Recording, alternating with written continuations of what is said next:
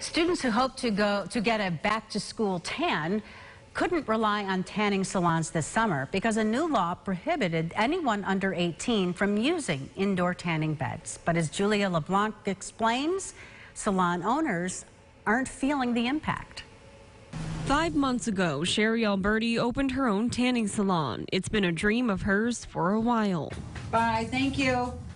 Alberti doesn't see the new tanning law impacting business, mainly because of the age of her customers. I think my youngest is actually only 24, but other than that, mine is an older clientele. Alberti says teens sometimes stop by, but only for spray tans. Her other customers, though, using the beds for relief. I will have people coming here and start tanning. As a matter of fact, like their doctors will prescribe them to come in here and get some UV because of the depression, anxiety. When they leave here, they feel so good.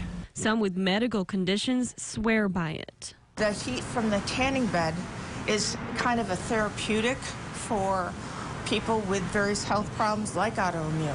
And while it may feel relaxing, health professionals say it could be damaging. Our skin does release hormones that make us feel better um, when it's been radiated with the sun um, or with the ultraviolet light. So it can be addictive, but that doesn't make it any better for us.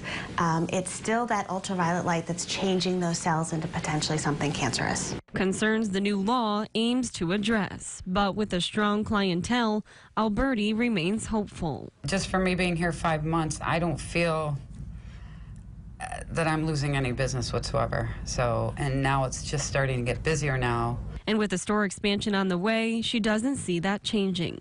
In Syracuse, Julia LeBlanc, News Channel 9.